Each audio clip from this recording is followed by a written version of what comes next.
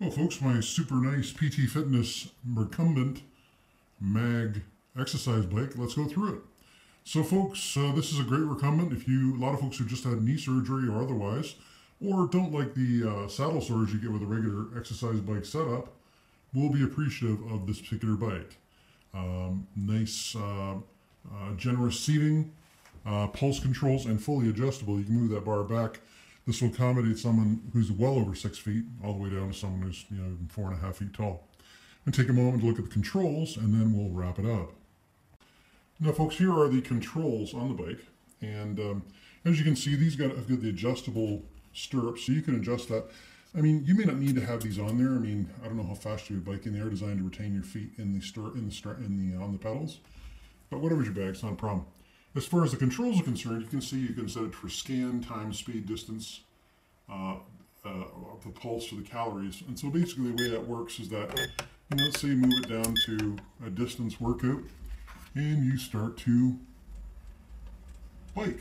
Well, as you can see, the distance will then begin to accrue as I'm, I'm just a minute manipulating the wheels here real quick. You adjust the mag resistance here and it's actually very, comes on very, very quick.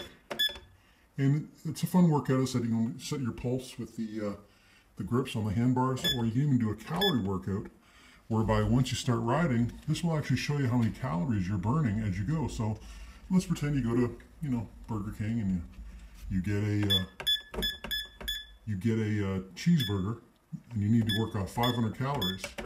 Well, hang on one second. Running the camera and doing this with one hand is a, always a good time.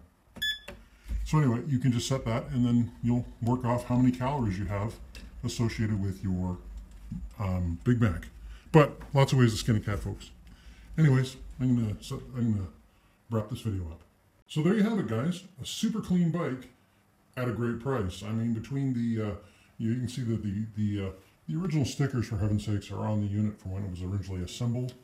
Um, you know, that's the thing with a lot of exercise equipment. If you can get a nice unit in the aftermarket, you save the uh, penalty of having to buy something new because let's face it, a lot of exercise equipment is purchased with good intentions. In the case of this particular bike, well, what can I tell you? The, intentions simply didn't match the um, um, the actual outcome. Uh, between the nice, easy to use controls and the uh, easy to adjust dial and the magnetic uh, resistance, it's a nice, smooth, quiet bike you can put in your TV room easy to transit and it actually folds up real small if you just uh, if you activate the um, adjustment for the size. What can I tell you? So we all know how much it costs to buy one of these new. I'm not going to charge anywhere near the new price, but at the same time, I don't really need to give it away because it is so, it's such great shape. And if you know you need one, well, you know you need one. So study the pictures. Um, when you reach out to me, I'll get back to you almost immediately. If you didn't guess by that diatribe I gave earlier, pricing will be firm.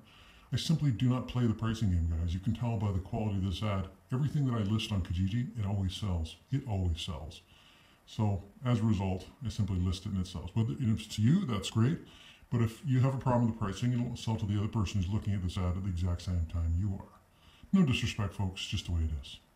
But as I said, I need to get a hold of them when you get together. You'll see it's exactly as I've described. Delivery will also be an option. And uh, I'll sell it to you. Thanks, folks.